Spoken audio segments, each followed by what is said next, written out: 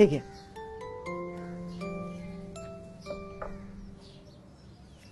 अं, काका दिसत नाहीत. हे बघ आले. अरे वा सातारकर. काय दाम्पत्य सेट झालं का नाही? लागलं का घर सगळं? हो चाललंय हळूहळू. ऍक्च्युली आम्हाला दोघांना तुमच्याशीच बोलायचं बोला की मग. आमच्या घरी गणपती मोठ्या उत्साहात साजरा करतात. आणि हिच्या तर घरी गौरी गणपती दोन्ही पण असतात. अरे वा. हो पण ह्या वर्षी काय मला जाता येणार नाही. हं. सुट्टी मिळत नाहीये ना. आम्हाला कळलं तुम्ही गणपती बसवता. आणि तुमचं डेकोरेशन पण खूप भारी असतं. म्हणूनच म्हणलं तुम्हाला काही मदत लागली ना तर नक्की सांगा आम्हाला. आम्ही येऊ डेकोरेशन करायला. माझी तयारी सुरू झालेलीच आहे. हम्म.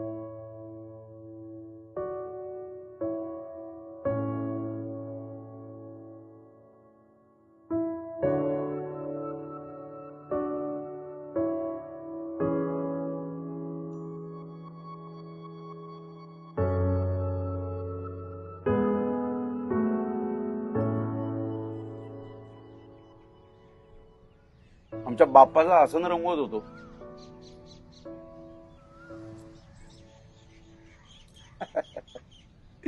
कळलं नाही ना? सांगतो. पूर्वी या बिल्डिंगच्या जागी वाडा होता मोठा. मग सगळं बालपण या वाड्यातच गेलं. आमच्या वाड्याचा गणपती उत्सव म्हणजे दहा दिवस नुसता धिंगाणा असायचा हे आरत्यांवर आरत्या स्पर्धा. वेगवेगळे रोज कार्यक्रम. प्रत्येका घरात येणारा प्रसाद. काय शेवटी? प्रत्येक गोष्टीचा शेवट कधीतरी होतोच. तसं तो वाडा हा पंचवीस एक वर्षांपूर्वी पाडला आणि तिथेही आमची ही इमारत उभी राहिली. त्या वर्षीचा आमचा गणपती आता तुम्ही आत आलात ना ते सोसायटीचं ऑफिस जे आहे ना तिथं आमच्या वाड्याचा हौद होता. त्या हौदामध्ये आम्ही आमच्या गणपतीचं विसर्जन केलं. विसर्जनानंतर प्रत्येकानं ती माती वाटून घेतली. आम्ही आमची माती एका कुंडीत लावली. आणि त्या वर्षीपासून आम्ही घरामध्ये गणपती बसवायला सुरुवात केली.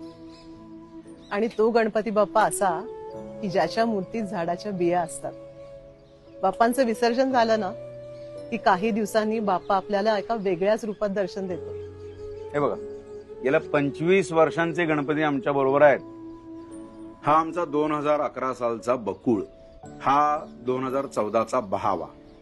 आणि हा बघा चार वर्षांचा पळस हा गणेर. आणि हा गेल्याच्या गेल्या वर्षीचा मुचकुंद. यातले काही वाढले की त्या बाजूच्या टेकडीवर आम्ही तिथे स्थापन करतो. तिकडे बहरतात मग ते. कमाल आहे काका हे सगळं. मी आजच घरी फोन करून अशीच मूर्ती आणायला सांगते. पप्पांनाही खूप आवडेल ही आयडिया क्या बात है नहीं नहीं नहीं. इस बात पे मोदक हो जाए. काही ना काही कारणाने तुला गोड खायचंच असतं ना? आणते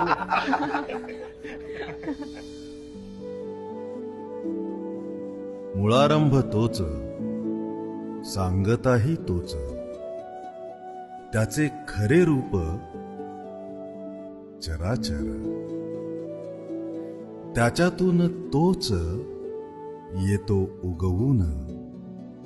पाना पानातून विघ्नहर्ता.